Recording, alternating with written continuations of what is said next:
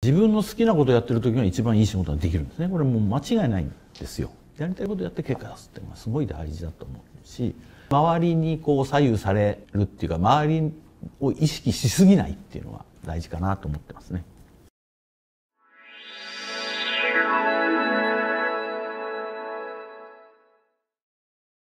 ゼラチンの国内販売シェアトップを誇る新田ゼラチン株式会社。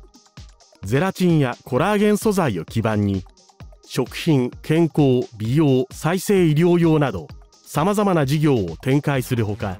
海外5カ国に拠点を構えゼラチンの製造量においても世界トップクラスを誇る。近年ではバイオメディカルに注力し2022年12月にはその研究開発生産機能を集約した研究と未来館を竣工させ医療用ゼラチンコラーゲンで新たな分野の開拓実用化に向け挑戦を続けている。届けたいところに届くようなものをたくさんの量を打たなくちゃならない、まあ、ゼラチンとかコラーゲンっていう素材と一緒に入れてやると周りに拡散しないとかと届けたいところにもうピンポイントで打ち込めるとかそういうのがこうできるっていうのが今まさに実用化される段階に来てるんでこれからの先端医療に絶対当社の素材が役に立つというふうに思ってるのでそこを伸ばしていきたいなと思ってますね。全ての人がいつまでも元気で若々しく過ごせる持続可能な社会の実現に向け躍動する経営者が思い描く成長ビジョンに迫る尾形が語る国内シェアトップを実現できた要素とは？おそらく、まあ、世界の上位の中で、まあ、アジアに拠点があるっていうのは当社だけなので日本に拠点があるっていうのはどういうことかっていうと日本のお客さんにきちんと製品を届けるっていうことなのでお客さんごとにそのニーズを拾ってなるべく皆さんのニーズにお応えするようなものを提供するっていうのがこれやっぱり日本のメーカーの特徴だと思ってるんですね。お客さんのニーズに合わせたものをこう提供していくっていうことで確実にお客さんとの信頼関係を作っていこうというのがまあやり方なんですね。だからこれが日本で今トップシェアをまあ持っているもう大元になってると思うんですね。物がないんでちょっと供給できませんとかね。昨日納めたものと今日納めたものとなんか品質がちょっと違いますねみたいなことを極力少なくする。品質を安定して供給も安定してるっていうのが我々の信頼につながってる。やっぱお客さんとの間の信頼っていうのはこのシェアを守っていくのが一番大事だと思ってるんですよ。尾形のファーストキャリアは新卒で入社した大手食品メーカーだった。大学で科学を専攻した尾形がなぜ食品業界に入ったのか。当時を次のように振り返る。なんか食べ物をこう自分で作ってみたいなとかね。お客さんの反応がすぐ分かるっていうかまずいとか美味しいとかこれいいなとかっていうのがすぐ分かるのが楽しそうだなと思ってで大学出た時に食品メーカーは何社か受けてでその中でその金棒食品の方で、まあえー、研究の仕事ができるということでそこにまあ入ったということですね。入社後は食品の研究開発に携わるほか複数のチームのマネジメントを担うなど順調にキャリアを重ねるしかし一方で企業が求めていることと自身のやりたいことにギャップを感じるようになり苦悩の日々を過ごすことになる。そんな時に声をかけられたのが新田ゼラチンだった。マネジメントの仕事が主になるとやっぱり自分で手を動かして何か作るっていうのはなかなか機会が減ってくるんですよね。でちょうどそうした時にこの新田ゼラチンから、まあ、新たな製品開発の中で本当に自分で手を動かしてあの今までなかったようなものを作る仕事を手伝ってくれないかっていうような話があったんでこれはもう一回あの自分の好きなことできるかなと。いうふうに思ってまああのかなり遅かったんですけど転職を。決意しましたね。2005年に約25年勤めた会社から新田ゼラチンへ転職した尾形は商品開発部長や営業本部長などを歴任し入社10年目の2015年に代表取締役社長に就任。当時の心境についてこう振り返る。社長交代って結構会社にとっては大きな出来事なので家族にも何も絶対発表するのは言っちゃいけないっていうのでそれが23か月あったその時が一番しんどかったですね。まあ、最初は本当になんか勉強しながらっていう感じでしたね。社長業っていうのは何をやっていいのかなっていうのは、まあ想像もできなかったっていうのがあったので、結構しばらくはそういう感じであの過ごしてたかなっていう気がしますね。この会社はこうこの会社でずっとやられてきた方がまあ社長になられるっていう方が多かった。50枚ぐらいで来て10年ぐらいのキャリアでまさか社長っ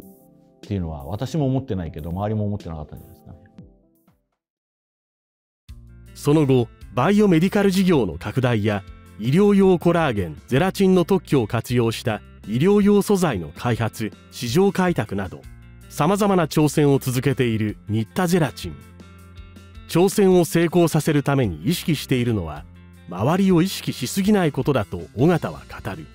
自分の好きなことやってる時が一番いい仕事ができるんですね。これもう間違いないんですよ。だから上からやらされてるとかこういやいややってるっていうのは大体うまくいかない原因なんでこれを成功させようと思ったら成功した暁にはこんないいことあるよねっていうのをやっぱり思い描くっていうのがすごく大事でその思い描いたことに行くために自分はどうやっていっていいかっていうのをね、まあ、考えていく。もちろんやってる中で苦しいこともあるんですけどやっぱり最終的には好きなこと楽しいことっていうのに特化してほしいなと思っててだから若い人も私の仕事はこれですってこう上から最初は与えられてるんですけどいつまでもそれだったら面白くないでしょっていう話をしてだから君何がやりたいのと言ってみと。それがあの会社の方向性から大きく逸脱してない限りはやりたいことやりなさいと、うん、やりたいことやって結果出すっていうのはすごい大事だと思うし、まあ、私もそれでやってきたなって思います、うん、だからあんまり周りにこう左右されるっていうか周りを意識しすぎないっていうのは大事かなと思ってますね。今後新田ゼラチンをより社会の役に立つ会社にしていきたいと語る尾形。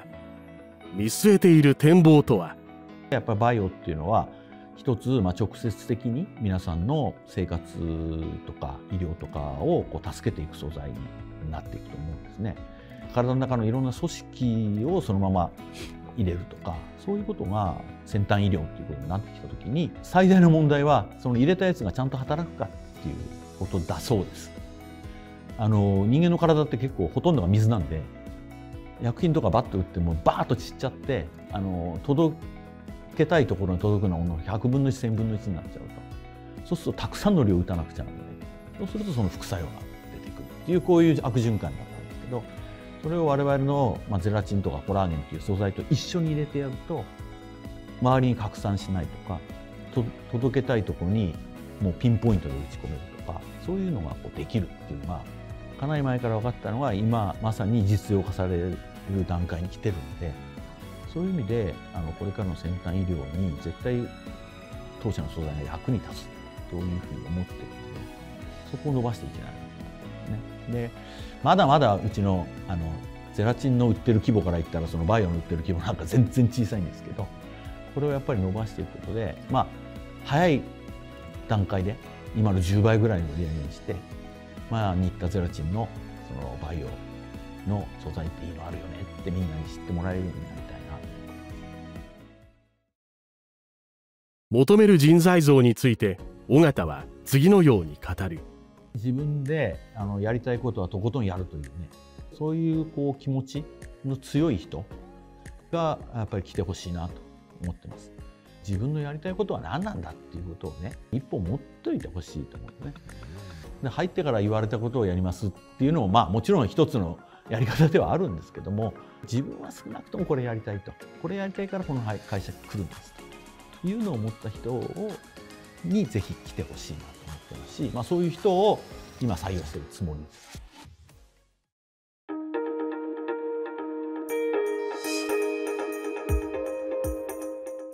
吉田松陰という人がいましてですねあの幕末の長州藩の武士であり思想家でありだと思うんですけど夢なき者に成功なしと言ってるんですね夢を持つっていうことが全ての始まりであり